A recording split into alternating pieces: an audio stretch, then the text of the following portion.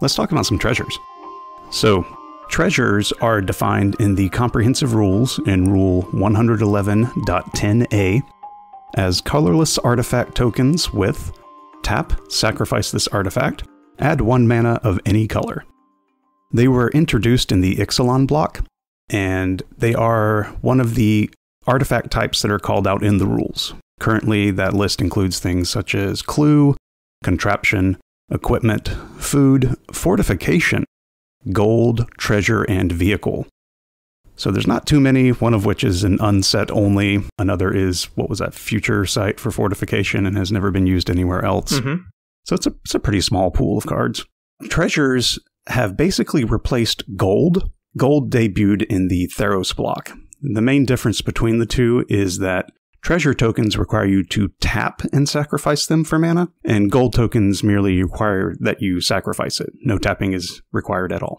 According to Mark Rosewater, he was asked about this at one point and responded the reason that treasure was created was because gold was causing some issue in playtesting with certain mechanics, notably improvise in the Kaladesh block, that would have allowed tokens to double up on mana production, first tapping to pay for improvise and then sacking for mana.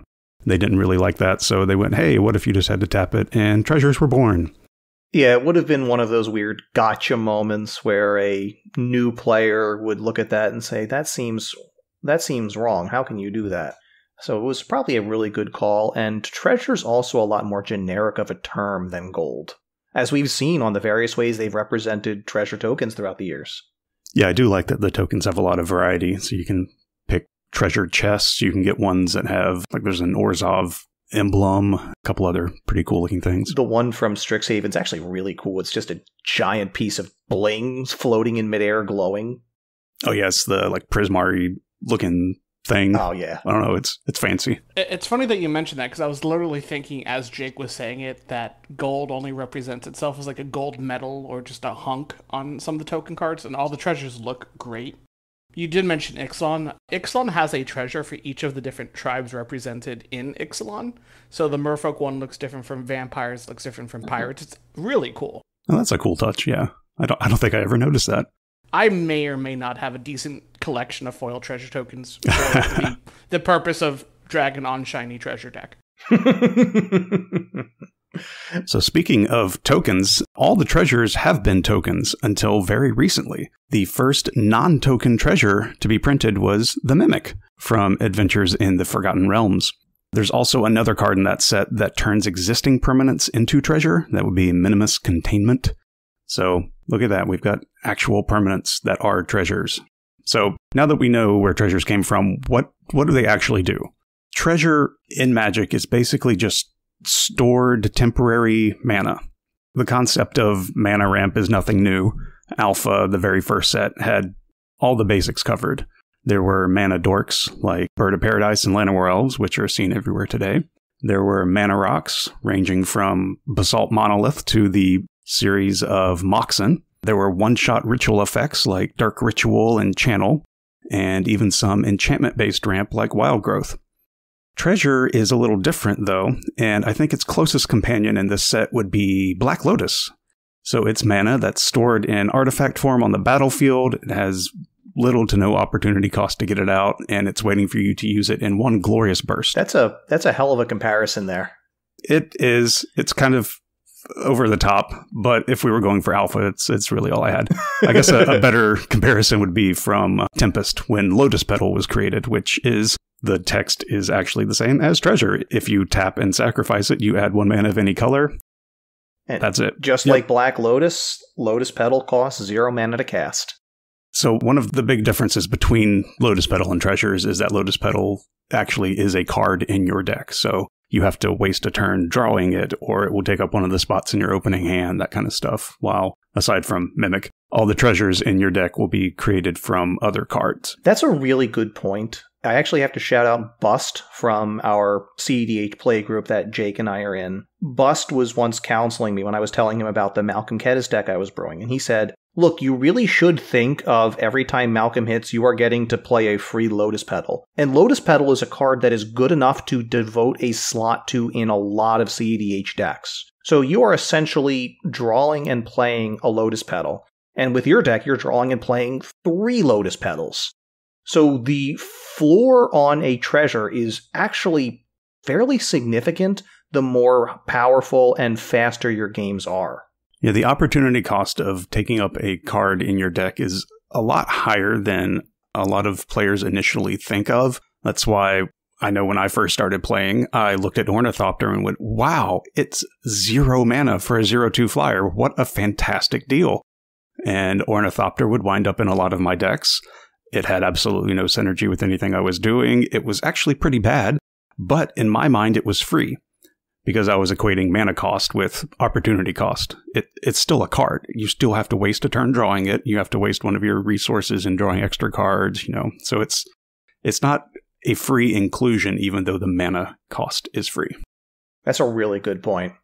So for the current state of the game, there's about 90 cards that reference treasure tokens. They're spread out across all five colors, not very evenly, but they are spread out across all five colors. White has three, blue has 11, black has 17, red has the lion's share at 28, green has 8, and there are currently 13 multicolored, which are mostly red and blue, and then there are 10 colorless cards that reference or create treasure tokens. It definitely seems to be a primarily red mechanic. Black's been kind of leaning into it. It's it's interesting, especially for white, because of the three cards, only two generate treasures for you. One of them generates it for the opponent. It's which it makes yikes. sense. It makes a lot of sense for red to be getting the lion's share of this, as I think the a very close approximation for treasure tokens is to the idea of a ritual which you can save. Rituals going back to original alpha with dark ritual, pay a mana, get three mana, you have to use it immediately or then it's gone. Red being this color that has kind of taken over rituals from black as a primary means, it seems like a really flavorful way for red to kind of bank some mana, kind of get some mana back. Makes a lot of sense in red, and I love it in red.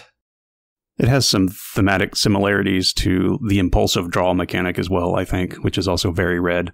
It's kind of like impulsive mana. You you can have it banked and then use it one time and then it's gone and you're back to where you were. Mm-hmm.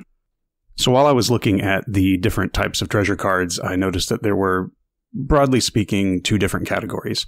There's the kind of card where treasure generation is just tacked onto it as a, a small upside, kind of like how some sets have just the basic cards that tack on the set mechanic or a cantrip, something like that. In this case, the focus of the card is usually on the other effect, and the treasure gener- generation is just a small incidental bonus. And this would be stuff like Deadly Dispute or Prosperous Innkeeper from a recent set. Unfortunately, I have noticed that a lot of these kind of seem to be costed or, or created primarily for limited, like sealed and draft. They're a little expensive mana wise for an eternal format, like EDH, and they mostly exist to showcase the treasure mechanic on just the required staple effects that any limited environment needs. Stuff like Grim Bounty or Pirate's Prized, improvised weaponry, that kind of stuff. Some of them still do wind up making the cut, but you should be very picky when you're looking at the draft commons and uncommons for which ones will wind up making the cut for your deck. Try to compare them to cards that you are already running, both in terms of mana value and then what the effect will be, and use that to make the decision for those types of effects. And likewise, the other types of these treasure cards are the ones that primarily focus on the treasure generation itself, either as a one time ritual effect or if it's a permanent that's sitting out as a recurring mana engine. Like one of the most iconic engines would be Smothering Tithe. Smothering Tithe is three and a white for an enchantment. Whenever an opponent draws a card, that player may pay two. If the player doesn't, you create a colorless artifact token with tap, sacrifice this artifact, add one mana of any color. I, I think that Smothering Tithe is very well known and has quickly become a white staple. Yeah, that's that's definitely true. Um, and on the other side, if we're looking at the ritual effects, there's another very well-known, commonly played ritual in Dockside Extortionist. Dockside Extortionist is a goblin pirate for one generic and a red When it enters the battlefield, create X treasure tokens, where X is the number of artifacts and enchantments your opponents control. It is good in regular Commander. It is great in CDH. It was too good. and then there's also a couple other cards that I, I, slotted into this category, such as Grim Hireling from the new Commander set from Forgotten Realms. It is a Tiefling Rogue for three generic and a black, 3 2. Whenever one or more creatures you control deal combat damage to a player, create two treasure tokens. And it has an activated ability of black and sacrifice X treasures. Target creature gets minus X minus X until end of turn, activate only as a sorcery. So some ramp and some removal. Uh, there's also Stormkiln Artist, slightly older card from Strixhaven. Stormkiln Artist is 3 and a red for a 2 2 creature dwarf shaman. Stormkiln Artist gets plus 1 plus 0 for each artifact you control, and it gets those artifacts from Magecraft. Whenever you cast or copy an instant or sorcery spell, create a treasure. It is a very useful way to generate lots of mana in Spellslinger type decks. And let's just hit on one more card, also from Adventure in the Forgotten Realms. This is Old Gnawbone. Alex, why don't you take this one? Because I'm super excited about it. Old Gnawbone is a legendary creature dragon for 7 mana, 5 and 2 green. It's also a 7 7. It simply says whenever a creature you control deals combat damage to a player, create that many treasure tokens. Yeah. I'm all about that. Mm-hmm. Those dragons love their treasure, all right. And then there's also a couple cards that fit in both categories at the same time. They're the cards that have a great main effect and they're great generation generators of treasure tokens. Let's talk about Hullbreacher, right? Oh, we don't have to do that anymore. Oh, true. Okay. well, in that case, let's talk about Reckless Endeavor. Reckless Endeavor is another card from the black red precon from Forgotten Realms Commander. It is a sorcery for 5 generic and 2 red. It says roll 2d12 and choose one result. Reckless Endeavor deals damage equal to that result to each creature. Then create a number of treasure tokens equal to the other result. So when this card was first spoiled, I was hanging out in the Mono Red Discord, and I, I swear for like five days, everyone was just really confused. Like nobody had any idea how good this card was. They're like, is this just unplayable random red card? Is this actually good? What's going on? I think the current consensus is that the card is a lot better than it looks. There is not as much randomization since you do get to choose the die roll.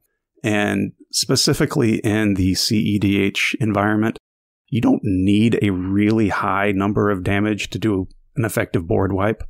Uh, there is. I think like three or four gets rid of just about everything relevant five if there's a Kenrith. Yeah, most of the relevant stacks pieces are even at like one, two, and three. Yeah. And then some of the commanders can be a little bit higher, but honestly, if you can knock out Drannith Magistrate at three, you're you're gonna cover most of your bases. There is a user lazy in the mono red Discord who sat down, did the math, and made a nice little Excel chart. We'll stick it in the video and hopefully be able to put a link to it in the comments or in the uh, show Damn. notes. Cool. Thanks, John. And it, it shows the results of the different die roll, the probabilities, and something that's it's pretty interesting. If you just need three damage to wipe the board, you have a 52% chance of generating at least eight treasures, which already pays for the spell itself and serves as ramp because you get one more treasure. Like that's, that's over a 50% chance to do that. And it, I don't know, it just kind of seems worse than I think it will play out to be, and I'm really looking forward to trying this card out. It does look pretty sweet. Uh, in particular, it's definitely finding a spot in my Godo list. Oh God, yes, uh, because you can even use it just as ramp. Like if there is no requirement to wipe the board or anything, you're at 56% chance on casting this to get nine treasures. That's Crazy. that's great. Like it's just weird. It's such a weird card. So that's the rough categories of treasure. Are there any other particular treasure cards that you guys wanted to talk about? There is one that is kind of a pet card of mine that I really enjoy, and that is Gadrak the Crown Scourge. This is a little dragon from Core Set 2021. It is a 5 4 legendary creature dragon for two in a red with flying.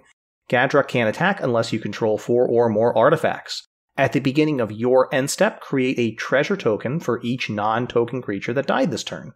As the head of its own deck, I have tried to experiment with this, and it is really difficult to get enough reliable removal to get that value. And Gadrak himself is not too great of a win condition in the command zone. But as one of the 99, I have seen some impressive things that you can do. I think the home that this wants is going to be in some kind of a deck where you can reliably remove creatures. And that's what I'm trying him out as one of the 99 in that Gruul Naieth of the Dire Hunt deck. Nice. There are two that kind of, a couple that come to mind for me as I've been thinking about this Dragon Treasure deck. Two of them are relatively recent additions one from Modern Horizons and one from Adventures in Forgotten Realm. The one from Modern Horizons is Crack Open for 3 mana and a sorcery. You get to destroy target artifact or enchantment and create a treasure token. So it gives you the option to destroy an artifact and then also ramp a little bit and kind of recoup whatever mana you spent. I don't think it's going to see play in any CEDH decks, but some casual ones like the Korvold deck I'm, I'm building for uh, Treasure Dragons, I'm probably going to slot it in for removal and just moving my game plan forward of having treasures. The other one, you find a cursed idol from Adventures in Forgotten Realms, is a bit more modular. It costs one less mana, so it's just one and a green, and choose one. Destroy target artifact, destroy target enchantment, or create a treasure token and venture into a dungeon. So it is one mana less. They are both sorcery speeds, but the modular option gives you a, a bit more choice on what you want to do. You draw it early enough, there's no artifact or enchantment destroy, you get to ramp. Late game, you're fine on mana, but you need to remove an artifact or enchantment. It's there, and you're good to go. The last one I have on my radar is Treasure Vault, and it is one of the new lands from Adventures in Forgotten Realm. And essentially, it allows you to bank mana and, upon sacrificing Treasure Vault, turn it into X treasures. There are some major drawbacks to where you actually have to sacrifice the land and you lose that. And you essentially are, as John made a good point earlier, for the same price, you are creating an arcane signet, essentially. But in the Treasure Dragons deck, utilizing Korvold with a bit of a land recurrence, it definitely falls into the, the greedy fantasy I want to build for the deck. And involving treasures, so it's really cool. Speaking of venturing into the dungeon, there is two of the dungeons, the Dungeon of the Mad Mage and Lost Mine of Phandelver, have rooms that create treasure tokens. So if you do have a reliable way of venturing, you can create treasures that way. One such way would be with Acererak the Archlich. I have no idea if that's how you say his name, but we're going to go with that. It's a legendary creature from Adventures in the Forgotten Realms. Two generic and a black for a legendary zombie wizard. It's a 5 5, so 3 mana 5 5. When it enters the battlefield, if you haven't completed Tomb of Annihilation, return Acererak the Archlich to its owner's hand and venture into the dungeon. And when he attacks, for each opponent, you create a 2 2 black zombie creature token unless that player sacrifices a creature. So the main thing here, you can combo him with Aluren, which is an enchantment from Tempest for 2 generic and 2 green. Any player may cast creature spells with mana value 3 or less without paying their mana costs and as though they had flash. So this is just a, an infinite combo right here as long as you have not completed Tomb of Annihilation. You just flash in Acererak. He realizes you haven't completed the Tomb of Annihilation, so you venture into a dungeon and he bounces back to your hand. And you just repeat this forever while you're venturing into Lost Mines of Phandelver or a Dungeon of the Mad Mage. So this is a way to get infinite treasures. Although, while you're doing it, you'll also get infinite life and infinite card draw and infinite token creatures and deal infinite damage to your opponents. So, I mean, the treasures are not quite as exciting there, but it is a way to get infinite treasures. There's also some ways to just boost the number of treasures you're creating. From the new Adventures in the Forgotten Realms set, we have Xorn. Xorn is two and a red for a 3 2 creature elemental. If you would create one or more treasure tokens, instead, create those tokens plus an additional treasure token. Just when you create one, create two instead. Your own mini parallel lives. Also, the art is really weird. Uh, Xorns are really weird. If you think the art on the normal Xorn is weird, you should look at the playbook version of Xorn. It is absolutely terrifying. One other one, this is a, a, a, bit older, probably the oldest card in terms of recent sense we're discussing Magda, Brazen Outlaw from Kaldheim. Magda Brazen Outlaw is a legendary dwarf, or legendary creature dwarf berserker for 2 mana, 1 in a red, 2 1. Other dwarves you control get plus 1, plus 0. That's neat. Whenever a dwarf you control becomes tapped, create a treasure token. And then sacrifice, sacrifice 5 treasures, search your library for an artifact or dragon card, put that card onto the battlefield, then shuffle your library. Now, the first deck that came to mind when I saw Brad start talking about token was John's Torbrand deck. Uh, because, yeah, take it away, I, John. I looked into it. I don't have any other dwarves in the deck, and I don't have a lot of treasure synergy with the deck either. I don't have a lot, in spite of being mono red, I didn't run a lot of ways to generate treasures in the deck. So while it would have been fair in a lot of ways, I would have probably then been taking out some of the goblin synergies that the deck does use as win conditions.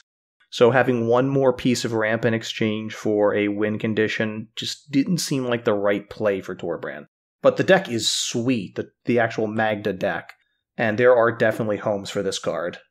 So I'm thinking of including it in my Treasure Dragons deck, not necessarily for the attacking and creating a treasure token when a dwarf attacks, but more for the option to just sacrifice five treasures, which the deck is going to be want to generating a lot of anyways, in order for me to get old Gnawbone sooner rather than later. That just sounds sweet. That's pretty cool. It also touches on some things you can do with treasures. So, what can you do with treasures? Uh, you can use them to cast spells, which is kind of the base level thing to do with a treasure token. You use it to make mana, you use that mana to play spells. It does really do a nice job at that since treasures can produce any color of mana, though. It's not just producing a colorless mana, it produces any color of mana. So you can run some really greedy decks that are running cards that have a lot of colored mana pips in them. Jake, one of the examples you've used is Niv Mizzet Parun, the version of Niv Mizzet that costs red, red, red, blue, blue, blue. And when you have a pile of treasures, it's kind of trivial to cast those types of spells. Yeah, that casting cost is far more difficult to hit, and a lot of times when you're playing the deck than you might initially think. I took it for a spin a few times, and there were plenty of occasions where I was looking at, you know, three blue, two red, and a bunch of colorless, and I'm just like, come on, I want to cast my stupid commander.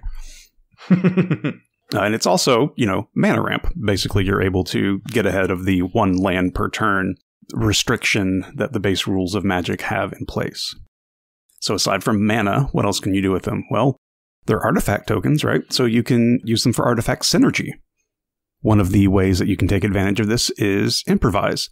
So, yes, they were specifically created so that they couldn't double dip like gold tokens would with improvise, but you can still use them for improvise. You can tap and effectively use them as one mana for an improvised spell without having to sacrifice it.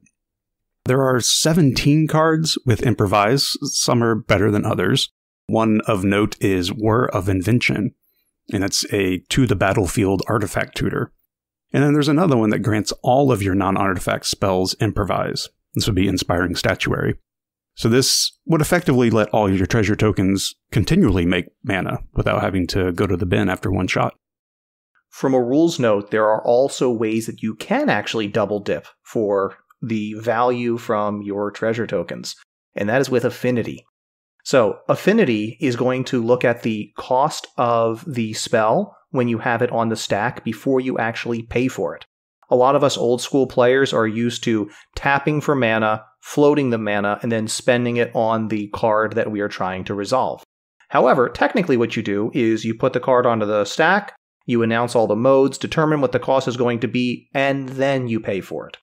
So if you have a card that has affinity for artifacts, such as our old classic Frogmite, a 4 mana 2 2, if you control two treasures, and those are your only untapped sources of mana, you put Frogmite onto the stack. It sees there are two artifacts in play.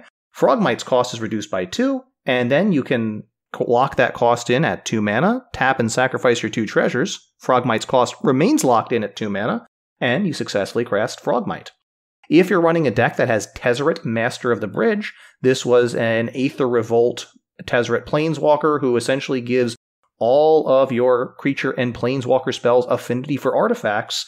It can be a very useful way to stretch your mana a little bit farther.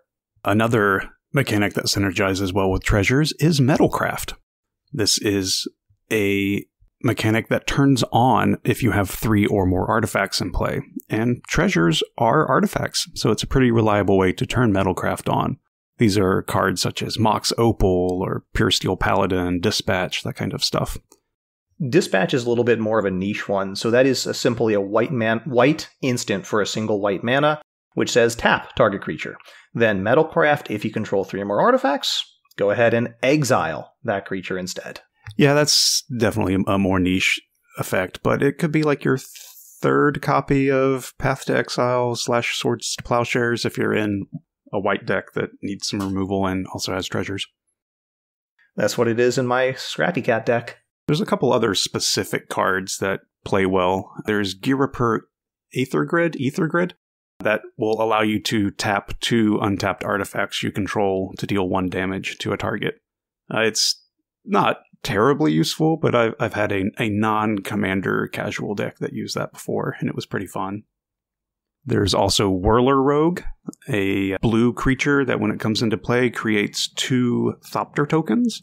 But the main thing here is that you can tap an artifact you control to give a creature, or I'm sorry, tap two artifacts you control to give a creature cannot be blocked this turn.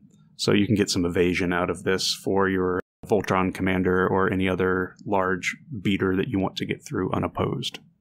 The other thing that's important that's come up a few times in our discussion with treasure tokens is that you have to sacrifice them in order to extract the mana from them. We've already talked a few times about Korvold, and we'll talk about the big dragon daddy in a few more minutes. But it also does play well with a few cards in a kind of artifacts aristocrat style of deck. There are both Disciple of the Vault at 1 mana and Marionette Master at 6 mana, both of which have a similar effect of whenever an artifact is put into a graveyard from play, you can ping opponents for damage. There are not quite enough of these to really make it pay off in a true aristocrat style deck, but give it a few more years. We keep coming back to artifact sets. We'll probably get there eventually. I would also like to add Mayhem Devil to this list. It's another deal damage based off sacrificing things. So it's, you know, your third instance of this, but yeah, you might still want a little bit more redundancy in this before it becomes a dedicated win condition. Not quite. Sacrificing, this is in the same vein of being able to kind of utilize them as being tokens to some extent, the opposite of Disciple of the Vault, so to speak. Reckless Fireweaver from Kaladesh. So, if a Disciple of Vault counts artifacts leaving the battlefield from sacrificing them, Reckless Fireweaver does roughly the same thing, but when they come into play instead. So it is a two mana, one in a red for Human Artificer. It's a 1 3, and it simply says whenever an artifact enters the battlefield under your control, Reckless Fireweaver deals one damage to each opponent. Oh, hey, that's a good inclusion for this list. And, and using the, the magic word for them, treasures are in fact tokens. So any of you that have ever heard me talk on here before knows that I have a affinity for tokens. John gives me a hard time for it all the time, but I love them. And good thing about tokens is you can double them. So you've got effects like doubling season, anointed profession, parallel or procession, not profession, parallel lives, and the new commanders out of Strixhaven, Adrix and Nev Twincasters, which are good ways to take advantage of doubling up on tokens. Everyone loves more free mana. Mm-hmm. They're also fairly disposable since they are just things that you can generate without too much effort a lot of the time. So you can use them as cheap sacrifice fodder. Any kind of effect that requires you to sacrifice a permanent or sacrifice an artifact. Uh, of note, there are a few red cards. There's Goblin Welder, Goblin Engineer, and Daretti Scrap Savant. These all allow you to sacrifice an artifact to bring an artifact out of your graveyard into play. And it's a pretty good exchange rate when you're, you know, tossing out a, a treasure token in order to get back, I don't know, uh, Bolas's Citadel or whatever giant artifact that you don't really want to pay the cost for. Or maybe somebody already removed it and you want to just get it back. And of course, there are a few very fun ways to win the game with alternate win conditions with treasures. Revel in Riches is a well known and well tread ground. If you control 10 or more treasures on this 5 mana black enchantment, you win the game, and it gives you treasures for your cre- opponent's creatures dying. Mechanized Production is another favored alternate win condition for 2 and 2 blue. You can make copies of an artifact, and if you control 8 or more artifacts with the same name, you win the game. Finally, there's Old Reliable Hellkite Tyrant. It is a big old dragon. It is a 6 5 for 4 red red flying trample. Whenever it deals combat damage to a player, gain control of all artifacts that player controls. And at the beginning of your upkeep, if you control 20 or more artifacts, you win the game. I love Hellkite Tyrant. I have been putting it in decks for a long time. I have never, ever gotten it to go off like that, but I really want to, and at some point I will. One other win condition for treasure tokens, especially if you have them in mass, and something I haven't really talked about too much, is the ability to actually turn them into creatures. The last time I ever played Standard in any meaningful format was back in 2015 when Ensoul Artifact was running rampant. And with the release of Modern Horizons 2 not that long ago, we were given a new card called Rise and Shine. It is a two mana sorcery, one in a blue.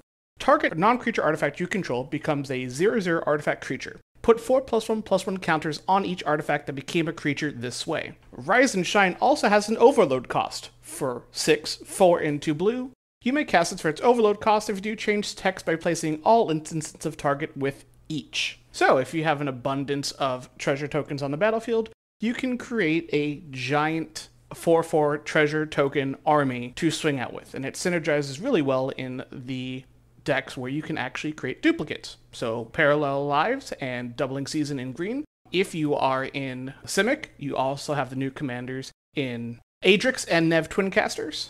And if you are running three colors and using Esper for that, you also have Sydri, Galvanic Genius, which lets you turn them into creatures and give them Death Touch and Lifelink. So yeah, swinging for lethal with tokens is a thing. You so you're you're beating people to death with money in Ex- your exactly, yes. capitalism dot deck. Okay, cool. yeah. So what you use is smothering tithe to oppress everybody to make treasure tokens, and then ultimately you then turn that money into your army, and then you beat them to death with their taxes. Well, this is incredibly depressing. Cool. So I also want to shout out listener Pipo Felipe. Sorry if I mispronounced your name there. He gave us a hint recently on some anti treasure tech if you're running into too much of it in your graveyard with a really spicy nugget of a card, and that is Viridian Revel. I completely forgot this card existed. It is one green green for an enchantment. Whenever an artifact is put into an opponent's graveyard from the battlefield, you may draw a card. If we're going up against Big Daddy Korvold and he's sitting on a pile of treasure and he casts in 10 of them, sure, Korvold draws 10, but then so does so do we. Felipe, th- that is a really cool recommendation, and finding these hidden gems is just so, so satisfying. When I was building my Sydri deck back when I first met you, John, I came across Viridian Revel just looking at cards that interact with it. I bought one. I've never used it. And uh, not until like this moment we pointed it out, I'm like, wow, this can completely hose my Dragon Treasure deck. I should probably be aware of it. yeah, it is a really cool card, and I see a lot of similarities with Compost, which is a another green enchantment. This is for one generic and a green, and it says whenever a black card is put into an opponent's graveyard, you may draw a card. And there are times when this has popped up as a like sideboard tech type of thing for certain metas in CEDH even. So I can definitely see if Wizards keeps pushing treasures, which I mean they just released an entire set that had treasure as one of the main mechanics. That card could definitely pop up and become more played. Yeah, seriously. Felipe, thank you very much for sharing this. It was a really cool, spicy piece of tech, and I'm glad we got to talk about it today. You can reach the crew from Gemstone Mine on Twitter at GemstoneMineMTG or send us an email at gemstoneminepodcast at gmail.com. On YouTube, we're Gemstone Mine Podcast. Be sure to like, subscribe, and hit the notification bell.